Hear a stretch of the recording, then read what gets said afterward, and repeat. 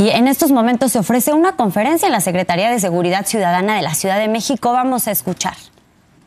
delictivo relacionado con el robo principalmente a una casa habitación ocurrido el pasado 18 de agosto de 2023 en un fraccionamiento residencial ubicado en las inmediaciones del pueblo de San Bartolo Ameyalco en la alcaldía Álvaro Obregón. Esta detención se realizó en coordinación con el Centro Nacional de Inteligencia y la Fiscalía General de Justicia de la Ciudad de México, a quienes agradecemos su apoyo permanente y decidido a la Secretaría de Seguridad Ciudadana. El pasado 19 de agosto, elementos de la Secretaría de Seguridad Ciudadana tomaron conocimiento de un robo a casa habitación en el cual ocho hombres vestidos de negro y con cubrebocas ingresaron a una residencia asegurando al habitante del inmueble principal, a la trabajadora del hogar, al guardia de seguridad y a dos menores también residentes a quienes mantuvieron aislados durante una hora en una de las habitaciones. Las víctimas refirieron que, al no escuchar ruidos, salieron de la habitación y se percataron que los asaltantes se habían llevado dinero, relojes de alta gama y joyas sin precisar el monto, así como una camioneta color negro. Derivado de lo anterior, se inició una carpeta de investigación y los trabajos correspondientes a cargo de esta Secretaría. A través de una cámara de circuito cerrado ubicada en la calle eh, aledaña al domicilio, se identificó que aproximadamente a las 21 horas con 16 minutos del día 18 de agosto ingresaron ocho hombres. Posteriormente se les observó salir del domicilio a dos personas con dos maletas. Más adelante se observó a una camioneta color negro salir al exterior del domicilio con dirección a Desierto de los Leones. Mediante seguimientos de cámaras de C5 y cámaras de circuito cerrado, se ubicó dicha camioneta en la colonia Periodistas, de la alcaldía Miguel Hidalgo. Se identificó que el vehículo pertenecía a la víctima y fue utilizado por los responsables y posteriormente abandonado.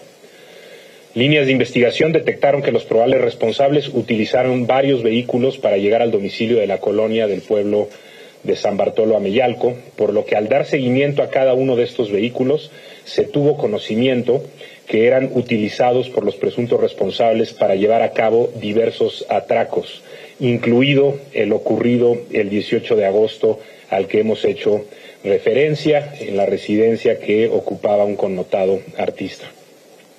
Mediante trabajos de inteligencia se detectó que estuvieron analizando la zona para efectuar un robo en dicha colonia. Con el material recabado por el seguimiento de meses a los vehículos en diferentes ubicaciones de la Ciudad de México, se identificó a Rolando N. o Juan Leonardo N., de nacionalidad extranjera, quien era la persona que utilizaba uno de estos autos.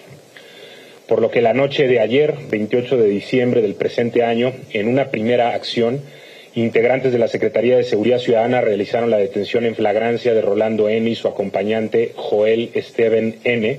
en inmediaciones de la colonia San Jerónimo Lídice en la alcaldía Magdalena Contreras, quienes durante el seguimiento del que eran objeto por las labores de inteligencia e investigación presentaron una conducta inusual, por lo que, ante la sospecha razonable, se decidió actuar de forma preventiva, encontrando un arma de fuego, un cargador, seis cartuchos calibre 38 especial, además de 300 dosis de una sustancia con las características de la cocaína, tres teléfonos celulares y dinero en efectivo, así como mazos, cuerdas, cinceles, guantes, pinzas, desarmadores y herramientas que al parecer eran utilizados para ejecutar robos a casa habitación. Continuando con el seguimiento a otros integrantes del grupo delictivo, policías de la Ciudad de, México identificaron un vehículo de alta gama color negro tripulado por Edward Jair N. y o Ernesto N., Fernando N. y Manuel Antonio N. en inmediaciones de Anillo Periférico en la colonia San Jerónimo Lídice en la alcaldía Magdalena Contreras por lo que al existir una sospecha razonable, detuvieron a los ocupantes del vehículo, localizando en su interior un arma de fuego tipo revólver calibre 38, tres cartuchos calibre 38 especial, así como 500 dosis de probable cocaína, cinco teléfonos celulares y dinero en efectivo. En el caso de Rolando N., se tiene conocimiento que utilizaba identidades falsas en los distintos lugares donde ha operado, por lo que esta Secretaría continúa trabajando con el Instituto Nacional de Migración para saber desde cuándo ingresó al país y determinar su estatus migratorio. Cabe destacar que a través de la investigación realizada en estos meses, se pudo conocer que estas personas, integrantes de la banda relacionado con el robo a casas habitación a la que hemos hecho referencia, son de nacionalidad extranjera, como se ha comentado, y se caracterizan por utilizar automóviles de alta gama para transportarse, se comunican vía telefónica en conferencia, siempre acuden armados, ocupan cuerdas, cinceles y mazos. Además, operan en zonas de alta plusvalía, donde para no ser identificados cambian las placas y el color de los automóviles en los que se transportan. Contamos con información de inteligencia también que nos permite establecer que esta banda ha tenido operaciones en los estados de Veracruz, Puebla, Guanajuato, Estado de México y Nuevo León. Los detenidos y lo decomisado fueron puestos a disposición de la Fiscalía General de Justicia de la Ciudad de México, que continuará con las investigaciones y determinará su situación legal. Finalmente, quiero comunicarle a la ciudadanía que la Policía de la Ciudad de México realiza trabajo de inteligencia y seguimiento a todas las denuncias que amablemente nos hacen y este trabajo se realiza de forma permanente. Gracias a su apoyo podemos actuar y avanzar sin detenernos en el combate a grupos criminales y grupos generadores de violencia para poder construir una ciudad siempre más segura y en paz. Muchas gracias.